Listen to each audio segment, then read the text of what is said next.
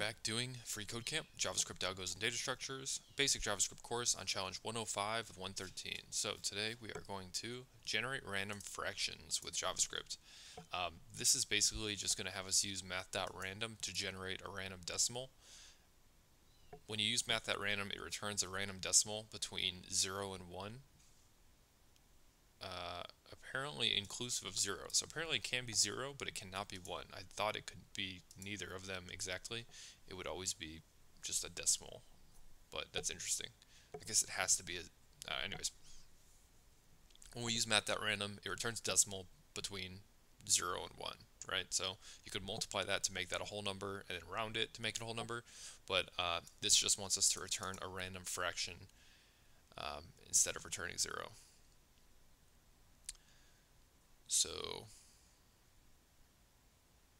yeah. So, I this should be pretty simple. We can just say something like let rand equal math dot random. Math always has to be capital M. It is a built-in. And then random is also built-in, and it's a function. So give it the function. And then instead of returning 0, we can just return rand.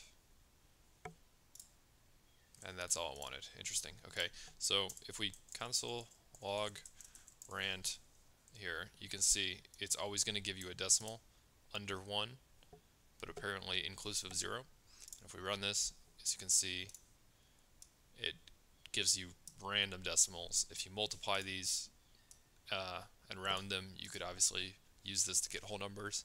Um, but yeah, I guess this just wanted to teach us about math.random. Definitely a useful built-in.